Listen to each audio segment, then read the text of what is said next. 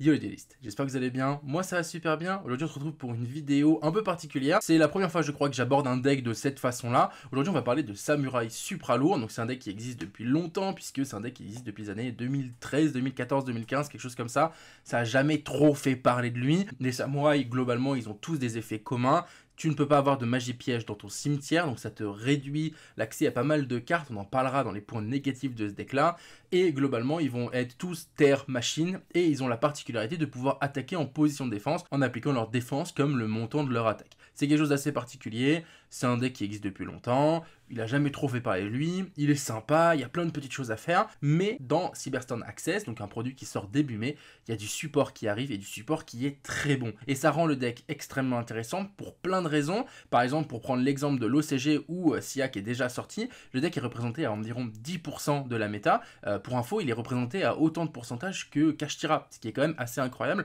Le deck, il est joué pour plusieurs raisons. La première, c'est qu'il y a énormément de starters, le deck est consistant et en plus de ça, il joue une vingtaine de free spots, donc 20 free spots, c'est beaucoup. Il n'y a pas beaucoup de decks dans le format qui se permettent et qui peuvent faire la même chose. Et en plus de ça, eh bien, le deck peut proposer alors deux choses qui vont revenir.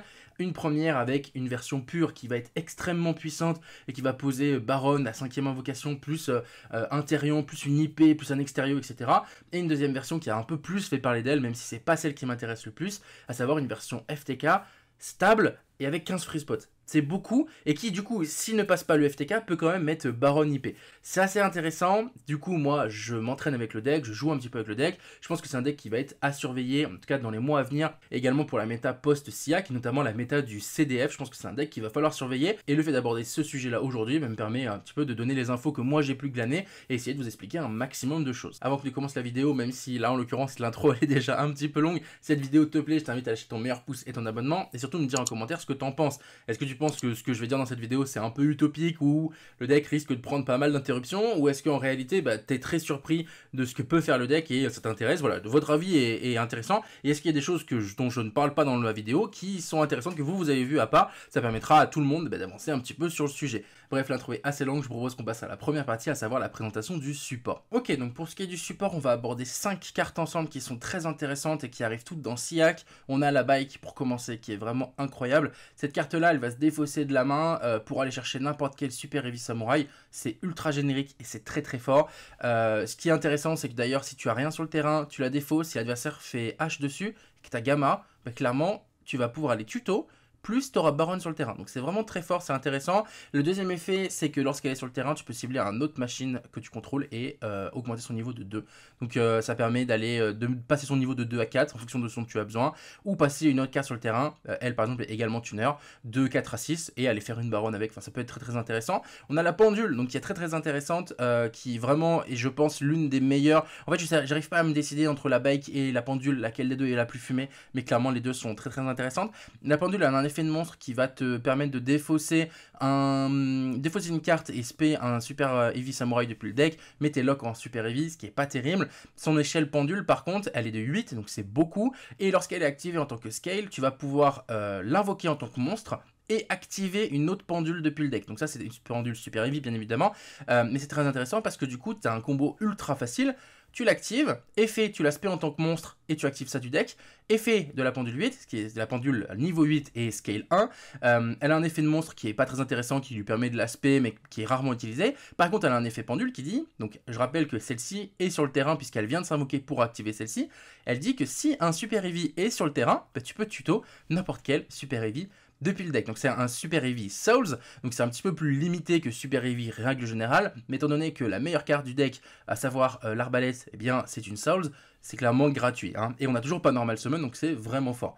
Euh, le support également qui est intéressant, c'est une fois 1 je le considère plus comme une toolbox, etc. Enfin, c'est plus un extender qu'autre chose. Euh, c'est le booster. Le booster, il va cibler un super heavy sur le terrain, l'équiper comme matériel, et tu vas pouvoir euh, activer son effet en tant que matériel et le respect en tant que monstre. Le fait que ce soit en level 4, ça permet encore une fois de faire des additions très faciles euh, pour aller jusqu'à 8, pour aller jusqu'à 10 ou pour aller jusqu'à 12 au niveau des synchros, ou même aller sur des X's level 4, tout simplement. Et on a le super Overlord Musarao. J'avoue que je sais même pas trop c'est quoi son effet. La seule chose que je sais dessus, c'est qu'elle a 4000 de défense et que c'est grâce à lui que le FTK existe, puisqu'il y a une carte qui permet de faire la différence entre son attaque d'origine et son attaque réelle, euh, sa défense d'origine et son défense réelle, et d'infliger la différence au dommage dans les life points de l'adversaire. Donc c'est très fort, donc son effet il est assez simple, euh, une fois par tour si un de tes super heavy doit être détruit, bah, tu peux détruire un autre super heavy à la place, et euh, une fois par tour, si un adversaire active une magie piège ou un effet, tu peux piocher 3 jusqu'à avoir 3 cartes dans ta main. Donc c'est pas mal, mais elle est surtout utilisée en réalité pour son, potentiel d'OTE FTK, qui en soi est vraiment incroyable. Alors petit disclaimer avant que je commence cette partie-là, il y a des versions avec Sprite, il y a des versions avec Adam j'aime pas beaucoup ces versions et je vais pas en parler pour deux raisons. La première, c'est que dans Sprite, bah, du coup, si tu ne touches pas ton engine heavy dès le début, eh bien, tu vas avoir des mages au cimetière, toutes tes cartes, ça deviendra des cartes mortes. Et pour les Adam Emancipator, bah, en fait, je trouve que c'est moins fort que ce que peut faire le deck en lui-même pur. Donc, je vais pas parler de ces versions-là, elles sont intéressantes, n'hésitez pas à aller voir sur YouTube, il y a plein de trucs intéressants. Moi, aujourd'hui, je vais vous parler de la version pure, celle avec une vingtaine de free spots, et la version FTK, et je vais vous expliquer comment ça fonctionne, quelles sont les cartes clés, et un petit peu bah, quelles sont les interactions à avoir avec le deck. On enchaîne avec la decklist pure, donc ce que j'appelle decklist pure, c'est 12 starters, quelques pièces de combo et une vingtaine de entrap, c'est beaucoup. Euh, l'inconvénient, c'est que naturellement, on peut pas jouer d'imperm ou quoi que ce soit, parce qu'il faut pas qu'on ait de magie piège au cimetière, mais on peut quand même jouer des cartes qui sont très impactantes. 12 starters, donc la bike qui en est un en elle-même, le soul pister qui en est un en elle-même, le, la pendule et euh, le wagon. Alors le wagon, c'est peut-être le pire des quatre, mais bon, ça reste une très bonne carte. On a des extenders qui spé du deck, du cimetière, qui se spé du deck, pardon, et qui vont respé du cimetière. On a des extenders qui permettent de spé du deck. Euh, on a Therion et Cyberstein qui sont des pièces du puzzle mais qui font des, dingueries. Euh, clairement, si tu l'as en main, c'est pas très grave, hein, c'est pas une brique. Il y a même qui le jouent euh, en plus. Et on a voilà deux extenders qui vont venir s'équiper et se spé pour pouvoir jouer autour des interruptions, etc. Au niveau des entraps, alors faut pas prendre la liste comme argent comptant, mais là actuellement on a du H, Ogre, euh, Mourner, Gamma, Veiler et Nib, et on a un petit peu d'extra deck et euh, de side deck qui, est impactant. L'extra deck il est vraiment là pour le combo principal, je pense qu'il nous reste 7 ou 8 cartes dans l'extra deck maximum après le combo principal, mais euh, toutes les cartes ont du sens et toutes les cartes sont assez polyvalentes et c'est vraiment ça qui va être important. Ce que je vous propose c'est de vous montrer un petit peu le combo que ça réalise et essayer de vous expliquer au fur et à mesure où les cartes défilent ce qui se passe et surtout sur quoi on termine. Ok, donc là on commence avec une main. J'ai volontairement mis 4 entraps puisqu'en fait on n'a pas besoin d'autre chose, c'est du one card combo. Donc là, hop, je, reprends un petit peu ce qui se passe. Je viens de discard la bike pour aller chercher ça. Je l'ai activé. Là, je viens de faire son effet pour aller activer l'autre scale. Et du coup, elle va se spé en tant que monstre. Là, du coup, on a l'autre effet qui me permet d'aller tuto le Soul Pisser. Et on a le combo principal qui va se lancer, à savoir, je l'ai normal. Il n'a pas d'effet à la normal summon. Mais vu que j'utilise pour faire la Link 1, encore une fois, un deck qui a une Link 1 qui est fumé, c'est fou. Les Link 1, c'est abusé. Eh bien, on va pouvoir activer l'effet et aller chercher une autre carte dans le deck. On a un effet qui est intéressant sur cette Link 1, c'est qu'on va pouvoir défausser une random carte de la main. Et vu que c'est pas un coup de défausser, mais c'est défausser, virgule, cibler dans le cimetière, eh bien tu peux même d'ailleurs défausser une carte que tu vas pouvoir respect juste après. Là en l'occurrence, on défausse le driver, c'est vraiment juste un exemple, on s'en fiche de ce qu'on défausse. Et on respect le super heavy sous le pisser. On reprend avec le play. Hop, on vient faire à la fois, là on a un Shelling 3, alors je vais, je vais le laisser passer un tout petit peu, voilà, on a un Shelling 3 qui se résout. Hop, je peux pas le mettre en pause, bon peu importe. J'ai Chaining 1 Axel pour respect la niveau 2 que j'ai discard au tout début. Chaining 2 Soul Pisser pour aller chercher le wagon. Et Chaining 3 la pendule qui va se réactiver toute seule de l'extra deck. Ça c'est vraiment très très fort. Et là du coup, juste après, on a la baronne. Donc on est sur un combo qui est extrêmement simple. Euh, j'ai pas compté le nombre d'invocations, mais 1, 2, 3... 4, 5, ça doit être la sixième invocation baronesse, c'est fort, hein. Et on a encore 5 en main, et on a encore la possibilité, là clairement on a encore une spé du deck et une pendulation, c'est vraiment pas mal. Euh, à partir d'ici on va pouvoir activer ça, spé, euh, le scale du deck, effet du scale, respect la soul On va directement pouvoir aller faire le euh, Clifford et on va en pouvoir abuser du soul puisque à chaque fois qu'il quitte le terrain pour aller au cimetière, tuto 1. Donc c'est vraiment fort, c'est vraiment complet. Là, on va pouvoir du coup faire une pendulation dans les deux zones du Clifford, ce qui fait qu'on va pouvoir euh, proc l'effet de Clifford, et en plus de ça, proc l'effet du wagon, qui lorsqu'il est invoqué, change sa position de combat, et tu vas pouvoir le passer de défense à attaque pour aller tuto 1 à nouveau. Donc là, c'est ce qui va se passer. Le Clifford va nous permettre d'aller tuto, et bien simplement le Therion, et lui, on le repasse en attaque pour aller chercher un Extender. Là, on active l'Extender sur peu importe, simplement pour avoir un monstre supplémentaire sur le terrain, et on va directement équiper le euh, directement pour avoir le Soul Pisser. Et ce qui est vraiment fort, c'est que le Therion, étant donné que euh, il va falloir qu'il se coste lui-même, on s'en fiche qu'il ait du matos. Donc on peut faire effet Baron sur Soul Pisser pour aller tuto encore un à nouveau. Ça c'est vraiment intéressant. Donc c'est ce qu'on va faire. Euh, on va récupérer une bike, puisque c'est avec ça qu'on a commencé le combo. On passe par Gergia pour aller chercher Cyberstein. On passe par le gadget pour spé euh, le Cyberstein. On paye le 5000. Alors je tiens à préciser quand même, payer 5000 c'est beaucoup, payer 5000 c'est cher. J'en suis conscient. maintenant avec un board aussi fort, est-ce que c'est vraiment problématique? J'en suis pas certain. Et encore une fois, avec tous les board breakers qui existent, est-ce que le fait d'avoir Exterio qui n'est même pas une fois par chaîne, c'est pas incroyable? Très sincèrement, c'est discutable. Après, on peut faire clairement, au lieu de faire gadget platine, euh, spay tout ça, on aurait pu faire une Apollousa et finir avec euh, Baron, Therion, Apo, 3 in trap. C'est pas mal également, sachant qu'on est parti sur du one card combo. Hein. Euh, là, on fait une IP et on termine. Voilà, ça c'est le board final, euh, clairement le meilleur board possible avec, et eh bien tout simplement le deck euh, Eevee pur, où tu finis avec IP qui va pouvoir se transformer soit en unicorn, soit en Apollousa, soit en access code pour le tour d'après. C'est vraiment à ta guise. Un extérieur qui va négayer toutes les magies pièges un Therion et une Baronne qui sont littéralement des Omni-Negate tous les deux. Et là, en l'occurrence, 3 une en main, c'est fort, sachant que on n'a pas pris d'interrupt. J'en suis entièrement d'accord avec vous, mais on n'avait qu'une seule carte en main. C'est-à-dire que si on a un extender, bah, souvent en fait on va pouvoir faire des combos supplémentaires pour eh bien tout simplement aller un peu plus loin et permettre de dodge certaines interruptions.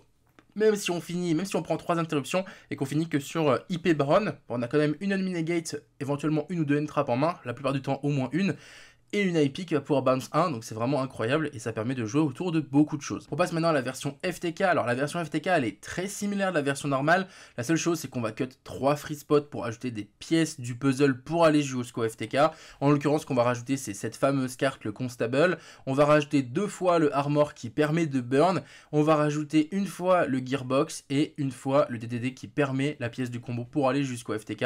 Dans l'extra deck on va venir rajouter le Muzarao qui permet le FTK, on va venir ajouter le train qui est extrêmement fort. Euh, je pensais même pas que cette carte existait, mais en l'occurrence dans ce deck là elle a un impact qui est incroyable. Et on va également rajouter euh, le balista pour faire du plus 1 sur le terrain et aussi avec la gearbox aller tuto et, euh, et bien simplement Beyond the Pendulum pour aller et eh bien ajouter la deuxième pendule lorsqu'on n'y a pas accès, ce qui est quand même assez régulier puisque c'est une fois 1. Ce que je vous propose c'est que je vous montre le gameplay, je le commente comme j'ai fait avec la première partie et je vous montre un petit peu bah, comment on fait pour le FTK et on parle également des choses qui vont se passer si jamais on se fait interrupt. Donc là, j'avoue que j'aurais pu mettre plus de cartes, mais j'ai choisi de mettre juste bike et euh, moto, sachant que euh, bike et euh, Nibiru, pardon, sachant que là je mets bike, mais globalement, quel que soit le starter des quatre que je vous ai montré tout à l'heure, ils vont tous faire la même chose. donc bike va se défausser, en fait c'est exactement le même début combo que tout à l'heure. On va ajouter la scale, elle va se spé et ajouter l'autre scale. On va pouvoir du coup aller tuto le soul pisser, on va normal le soul pisser, on va l'utiliser. Et là je crois qu'on a déjà une petite différence. Alors non pas tout de suite encore. Euh, on va avoir une petite différence. Voilà, exactement. Là, la petite différence, c'est qu'on va non pas aller faire le Stardust pour tout de suite aller faire Baron, mais on va faire d'abord le train qui lui-même va pouvoir respect euh, la pendule. Donc on va pouvoir aller continuer tuto, etc. Et on va aller acheter une autre scale. Voilà, ça, on ajoute une autre scale. Là, on va pouvoir équiper directement au, à l'éventail, on continue les combos qu'on connaît, ça c'est globalement les mêmes que tout à l'heure jusqu'à là. Là on passe par la balista, donc l'avantage c'est que dans ce combo là je pense qu'on utilise un peu plus le soul pisser, ce qui fait qu'on fait un peu plus de CR, on va chercher un peu plus de pièces. Donc là on a un board qui peut déjà faire Apollouza. Alors si, par exemple si on avait peur de je ne sais quoi, on pourrait déjà faire Apollouza et faire une échelle pendule et continuer à jouer. Là par exemple on pourrait partir sur une Apollouza Savage tout de suite parce que 1, 2, 3, 4, on pourrait. Et on active la pendule, on les tous les deux, effet, il gagne un niveau 2. On équipe le, Savage euh, avec le lien 1 du cimetière, et on aurait un board, un board viable, entre guillemets. Euh, c'est pas mal pour un FTK, on va dire. Donc là, on fait la petite pendule, on va pouvoir aller tuto la dernière pièce de combo, on active la nouvelle scale qu'on a été chercher.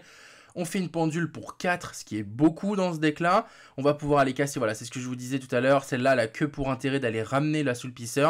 Et elle va pouvoir changer son niveau et le repasser à 4, en fait, tout simplement. Euh, là, du coup, on fait le combo classique Stardust Soul Pisser. On va pouvoir aller chercher la baronne. Donc, ça veut dire qu'avant que le FTK soit fini, on a déjà une baronne sur le terrain. Là, on va venir casser la scale pour pouvoir laisser la place à l'autre scale, en fait. C'est ça, vraiment ça qui est intéressant. Euh, on va pouvoir venir spé cette carte-là, qui est vraiment intéressante, toolbox très classique, et qui nous permet d'accéder, et eh bien simplement au gear. Donc là, on est sur un play qui est bien à prendre en compte, c'est que tout de suite, on vient de se lock en, super heavy, puisque cette carte-là vient d'activer son effet de monstre. On est venu tuto euh, le armor parce qu'on avait l'effet de soulpisseur tout à l'heure, et en le défaussant, on paie un autre armor. Et ça, c'est important à bien prendre en compte, puisqu'à partir de là, on ne peut plus rien faire hormis des super heavy. Donc là, on va activer le premier effet. Alors, il y a deux choses à bien prendre en compte. La première chose, c'est que la, scale, elle va venir dire que cette défense-là, elle passe à 0. On avait 4000 de base, elle passe à 0. On va venir pouvoir bannir le armor du cimetière qui dit qu'il va infliger, donc c'est pas une fois par tour, on peut le bannir du cimetière et on va venir infliger la différence entre la défense d'un monstre et sa défense d'origine. Donc là, actuellement, il a 4000 de base, on l'a passé à 0, donc on va pouvoir venir infliger 4000. On a déjà burn la moitié des life points de l'adversaire et on va pouvoir faire un lien 1 et burn une seconde fois. Et donc là, on a réussi à passer un FTK. Si toutefois, avant l'arrivée de ce... En fait, avant l'arrivée de... de avant l'effet de la... Où est-ce qu'elle est? Ah mince, elle, est en scale, elle est quelque part? Euh, elle est là. Euh, avant son effet de monstre à elle, si on se fait interrupt, on a toujours des moyens de remonter et de faire un petit board à base de au moins juste IP plus 1 euh, ou, des, ou ce genre de choses, sachant que là, encore une fois, je rappelle que normalement, on a encore 3 cartes en main, puisqu'on a commencé avec 2 cartes tout à l'heure. donc voilà, le FTK fonctionne comme ça. Il est très stable. Là, j'aurais pu rajouter 3 trap en main. C'est-à-dire que si on se fait interrupt, on a 3 trap. Euh, là, en l'occurrence, on finit quand même avec une baronne. Euh, le tour d'après, on peut faire une Apollouza, etc. Euh, c'est pas mal. Et, et, ça reste un FTK. C'est-à-dire que normalement, il n'y a même pas de tour d'après. Bon, vous l'aurez compris, le deck est vraiment pas mal. Aussi bien pour la version pure que la version FTK. On va parler un petit peu des points forts. Donc, le deck, le point fort principal, c'est vraiment le fait que ce deck-là, ça soit du one card combo. Vous l'avez vu avec des mains où je ne touche pas le reste de ma main. J'ai besoin du one card combo d'un starter plus d'une défausse et c'est tout. Le deck fait tout tout seul, c'est une autoroute. On est sur des statistiques qui sont incroyables. On a par exemple 75% de chance d'avoir au moins un starter et une entrap en main. C'est beaucoup, c'est-à-dire que toutes tes mains, globalement, elles sont jouables. Il y a peu de mains qui seront pas jouables. Et on va avoir 60% de chance d'avoir un starter et deux entraps. Donc au niveau des statistiques, c'est vraiment cool. Et euh, ça permet d'avoir des mains qui sont tout le temps jouables et tout le temps utiles. la force du deck, en fait, c'est le fait d'abuser de certaines vieilles cartes, notamment l'arbalète, qui euh, n'a pas de une fois par tour euh, pour ce nom-là de carte, etc. Ce qui fait qu'on va pouvoir tuto 5, 6, 7 fois pendant le même tour avec la même carte et aller chercher toutes tes pièces de combo au fur et à mesure de, dont tu en as besoin. Et même si tu te fais interrupt, bah, du coup, tu peux changer tes pièces de combo et dire ok bah si je fais ça je vais pouvoir aller chercher ça. Euh, et, et, ça reste très, intéressant. J'ai dit plusieurs fois dans la vidéo mais pour avoir testé le deck contre du sprite contre du cash tira etc lorsque tu te fais interrupt alors déjà si tu go 2 parce que c'est souvent ça qui fait un peu peur avec ce genre de deck bah, vu que tu as plein de free spots bah, tu peux te permettre de go 2 c'est pas vraiment un problème. Et quand tu go 1 quand même tu te fais interrupt avec beaucoup d'interruptions tu vas souvent finir avec au moins une baronne, ou un baron et une savage, ou une IP et un savage, ou une IP et, un, et une baronne. Ce qui est vraiment pas mal pour un deck qui peut prendre des interruptions. Pour vous donner une idée, j'ai pas mal playtest contre eh bien simplement Sprite, qui est un des meilleurs decks du format actuellement. C'est le deck avec lequel Samir a gagné le YCS il y a quelques semaines. Et eh bien, le match-up est plutôt favorable envers Eevee, ce qui est assez incroyable dans le sens où on sait que, et j'en parlerai dans les points négatifs, toutes les cartes de board breaker, et eh bien Eevee ne peut pas les jouer. Donc c'est plutôt intéressant. Pour ce qui est des faiblesses et des points négatifs du deck, évidemment il y en a. Un des points les plus négatifs, et ce qui va être un peu dommage dans ce deck là, c'est qu'on ne peut pas jouer de magie piège, donc au revoir Dark Ruler, au revoir Evenly, au revoir euh, Lightning Storm ou encore Plumeau. Alors comme vous l'avez vu dans le side deck, il y a moyen de bricoler pour avoir des choses qui seront quand même impactantes et qui auront quand même des effets sur certaines situations, mais je pense qu'il y a des match qu'il faudra accepter de perdre avec ce genre de deck, euh, et en tout cas prendre bien en compte que ce genre de deck euh, voilà, peut être en difficulté sur certaines situations, puisque bah, les grosses cartes qui débloquent des situations, je pense à Evenly par exemple, eh bien on ne pourra tout simplement pas la jouer. C'est également un deck qui va avoir des difficultés contre deux cartes relativement présente. Je pense notamment à Dark Ruler et euh, Shifter. Dark Ruler parce que c'est la seule carte qu'on ne pourra pas annuler avec Exterio. Et euh, Shifter parce que bah, clairement si on n'a pas de cimetière, on va vraiment se limiter à tous nos combos. Ce qu'il faut prier c'est que l'adversaire Shifter très rapidement et qu'on ait Gamma, ça nous sauve. Euh, c'est jouable mais c'est assez peu probable. Il y a également Droll qui peut être très impactante contre le deck. Il y a certaines mains qui vont mourir sur des fausses motos, tuto, Droll ah, ben on peut plus rien faire. Mais en réalité, il y a quand même beaucoup beaucoup de situations où même sous drôle, vu que tu as pas mal de reborn qui t'empêcheront pas de faire tes effets et que tu as également beaucoup de spé du deck qui vont également encore reborn, eh ben tu peux souvent aller sur euh, IP Savage ou IP Baron. Tu vois, c'est vraiment le, le, play minimum, mais encore une fois, bah, si l'adversaire il t'a mis Droll plus une interrupt, il lui reste que 4 cartes lorsqu'il aura pioché, et toi, si tu finis avec Baron IP et 2 N-Trap, bah, en fait, t'as autant d'interruptions que de cartes en main. Donc ça reste intéressant, je pense que c'est vraiment à prendre en compte, c'est un point négatif, c'est un fait. Euh, voilà, Dark Cooler, Shifter et Droll, c'est des cartes qui sont un peu des points noirs pour nous. Je pense que tout ce qui va être match-up back row peut être un peu pénible également, mais ça reste gérable, le side deck est là pour ça, et encore une fois, on peut jouer autour de plein de choses, c'est euh, C'est pas forcément le petit ou petit, ça fait partie des points négatifs, mais c'est faisable. J'essaie de vous présenter un maximum de choses, aussi bien au niveau du deck que du FTK. J'avoue que le FTK, j'en suis pas très fan, déjà parce que je trouve ça un peu anti-jeu et pas très fun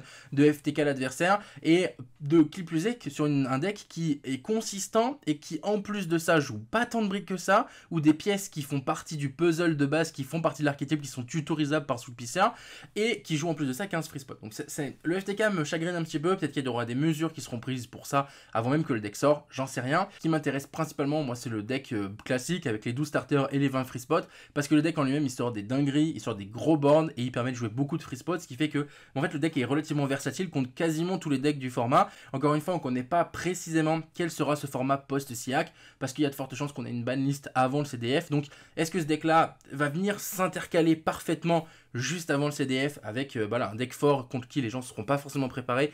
J'en sais rien. Euh, en tout cas, voilà, j'ai essayé de vous apporter un maximum d'éléments. Une dernière petite chose avant de terminer cette vidéo, c'est un peu ma prédiction entre guillemets. Euh, clairement, ces 4 cartes, il nous les faut dans le main deck. J'ai peur qu'elles soient en grosse rareté dans SIAC. donc ça va être le moment prédiction. La super heavy, vu que c'est un boss monster, je la verrais bien en secret.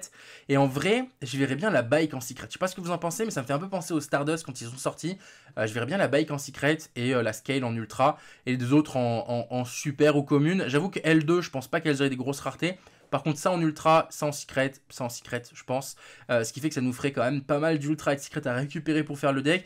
C'est que du pronostic, j'ai aucune idée fiable là-dessus. N'hésitez pas à me dire ce que vous, vous en pensez dans les commentaires pour me dire, ben voilà, à votre avis, est-ce que ça va être des grosses raretés ou des petites raretés? Et globalement, par rapport à ce que ça fait, qu'est-ce que vous en pensez? Voilà, cette vidéo est maintenant terminée. J'espère qu'elle vous a plu. Si c'est le cas, évidemment, le pouce, l'abonnement et votre commentaire en me disant ben, votre avis sur ce qu'il en est. Est-ce que vous avez envie de jouer le deck? Est-ce que vous allez vous renseigner un petit peu sur ce que ça fait? Ou est-ce que j'ai pu vous aider à, passer le pas, j'en sais rien. En tout cas, ce qui est sûr, c'est que j'espère vous avoir appris des choses. C'est vraiment l'objectif de cette vidéo. Si vous avez passé un bon bah écoutez, moi aussi, et c'est vraiment l'important. Prenez soin de vous, faites un duel et collection de cartes. Surtout bientôt les potes. Allez, ciao